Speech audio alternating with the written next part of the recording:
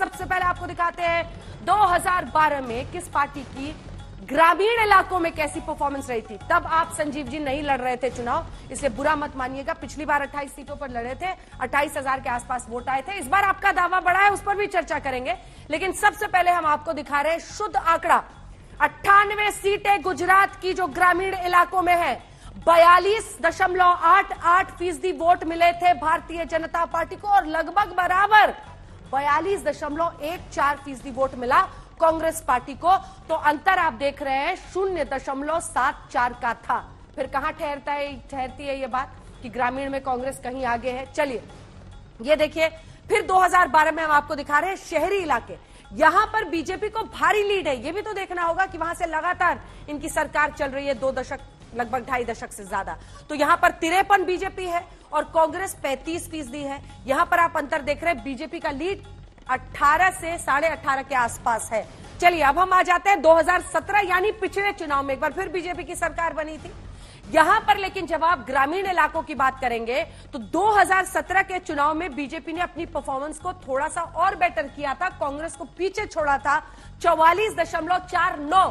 लगभग साढ़े चौवालीस फ़ीसदी जो वोट है वो उन्हें गए। और वहाँ पर देख लीजिए आप कांग्रेस 43.49 पर है।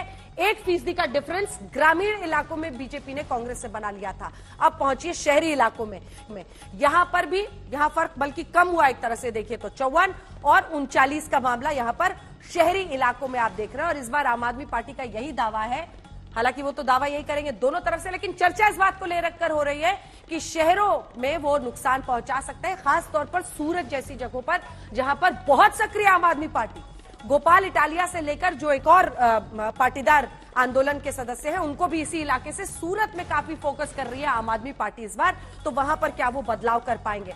चलिए, ये दो आंकड़े दिखाने के बाद अब हम आपको कंपैरेटिव डेटा दिखा देते हैं, जिसके बाद हम चर्चा की शुरुआत करेंगे। ग्रामीण में और जो इलाके बीजेपी कहाँ कहाँ पर आगे है?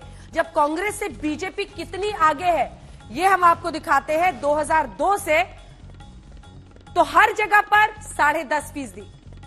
ग्रामीण इलाकों में लगभग पौने नौ फ़ीसदी और शहरी इलाकों में लगभग 18 फ़ीसदी। अगला आंकड़ा दिखाइए। 2007 पर आ जाइए। यहाँ पर भी आप देख रहे हैं ओवरऑल बेटर है। 11 फ़ीसदी के आसपास, फिर पौने 10 फ़ीसदी के आसपास है ग्रामीण इलाकों में और लगभग 18 फ़ीसदी शहरी में। अगला आइए। 2012 में। मार्जिनली बेटर ही है ग्रामीण में। इस इस पॉइंट को समझिए आप। ग्रामीण इलाकों में भी मार्जिनली ही सही लेकिन बीजेपी ही बेटर है। ओवरऑल में फासला कम हो रहा है। लेकिन ग्रामीण में पौने एक फ़ीसदी और वहाँ पर वही डिफरेंस रह जाता है लगभग। थोड़ा सा बढ़ा है। आ, देख रहे हैं आप पौने उन्नीस फ़ीसदी के करीब। अगला दिखा दीजिए 2017 का।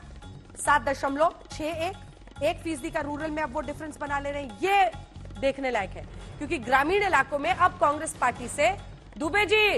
ग्रामीण इलाकों में भी पिछले चुनाव में एक फ़ीसदी आपसे आगे बढ़ गई। ग्रामीण माना जाता था कि गढ़ है कांग्रेस पार्टी का, लेकिन उसमें भी मार्जिनली ही सही, लेकिन बीजेपी ही आगे है। और शहरी इलाकों में तो वो आपसे बहुत ज़्यादा आगे है ही।